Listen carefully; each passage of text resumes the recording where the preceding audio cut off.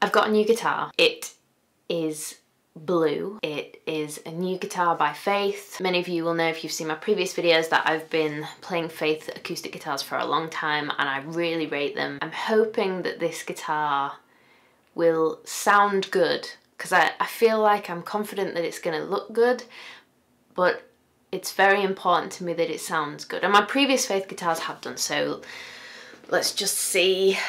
I feel nervous. I've been excited about potentially owning one for a very long time, so I just hope it's good, basically. uh, to be as honest as possible, I just hope it's good. And I'm gonna unbox it now. How do we get in? It's a box inside a box. Okay, okay, okay, okay. Crunch time.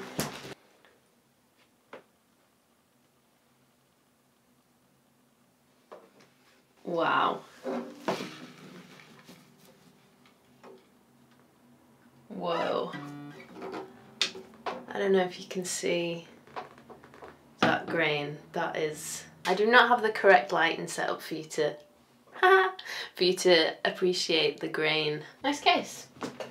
These Blue Moon guitars are solid mango top, back and sides, mahogany neck and ebony fretboard with flamed maple binding. It's just so pretty. I haven't played it yet, so, you know, still nervous. But this is my favourite shape of guitar that Faith do. So the guitar that I play all the time that's in most of my videos and is the one that I play most on tour is a Neptune and this is what this shape is. You may have seen me play a Faith Blood Moon guitar before which is this one. Also a steel string, but I feel like the wood is, it? Trembesi. And this one is a slightly smaller um, body. It's a Venus.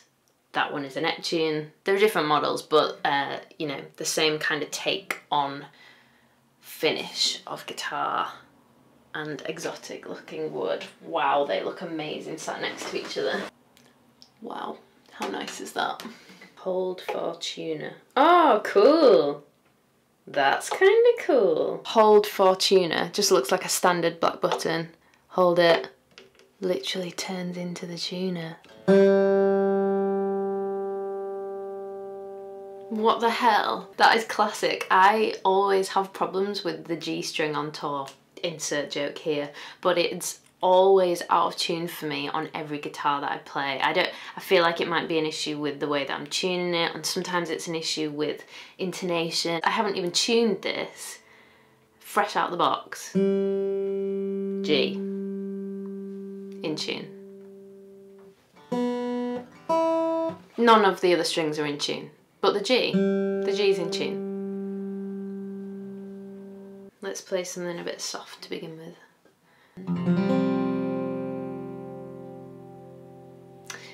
Reminds me of, and this is probably going to sound really weird, but um, the feeling after you drink a, a bit of alcohol and it's possibly too strong, but then the strength of it and the oof, goes away and it just leaves you feeling really warm, like here.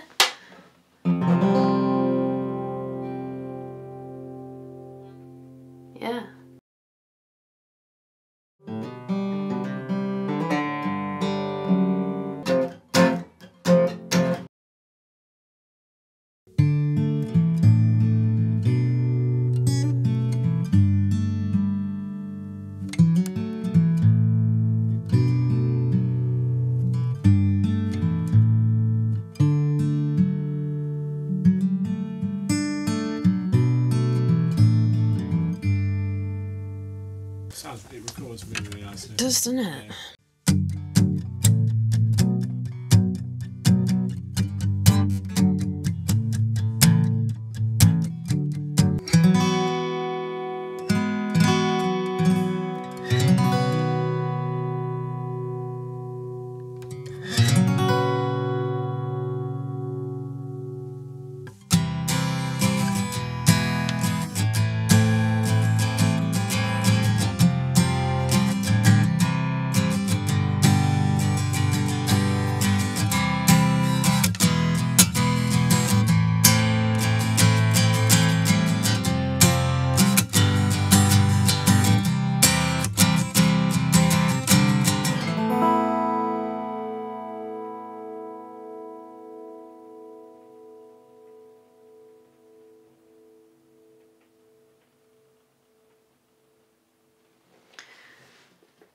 To say that's fresh out of the box, I am quite impressed. I think a lot of people would agree with me when I say that guitars tend to sound better when they've been looked after, well, but when they've been played as well. It sounds new to me, but it also sounds just ridiculously toneful. Some people would have the question, is it style over substance, which